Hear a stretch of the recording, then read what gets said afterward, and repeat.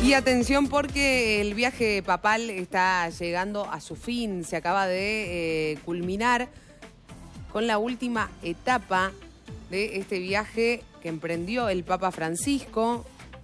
Allí lo vemos en Singapur, uno de sus últimos destinos. Allí elogió el esfuerzo por mejorar la forma de vida de los ciudadanos. Bueno, el Papa Francisco fue recibido por el presidente y el primer ministro de Singapur.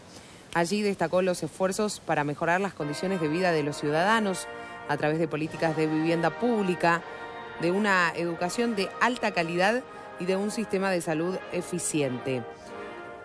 Unas palabras que realizó ante las autoridades, la sociedad civil y los diplomáticos desde el Teatro del Centro Cultural de la Universidad Nacional de Singapur tuvo que ver con eh, lo que él mismo, bueno, viene destacando, ¿no? En, en, Timor Oriental, por ejemplo, en otros de sus destinos. También lo ha hecho en Singapur, donde destacó el respeto por la integración cultural y religiosa. Bueno, de igual forma continúa alabando la historia de crecimiento y resiliencia del país. Esto eh, ha deseado que sigan avanzando en este tipo de medidas hasta lograr que todos los habitantes se beneficien de ello.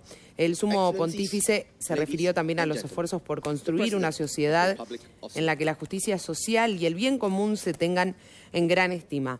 Todo ello fue luego de una ceremonia de bienvenida a la que asistieron el presidente Tarman Shanmungaratam y el primer ministro Lawrence Wong, con quienes conversó sobre el bosque de modernismos rascacielos que parecen alzarse desde el mar como un claro testimonio del ingenio humano, también del dinamismo de la sociedad y de la eh, perspicacia del espíritu empresarial.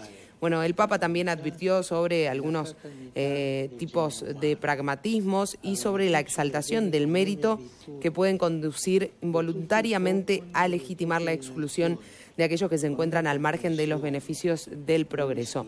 Bueno, muchos temas.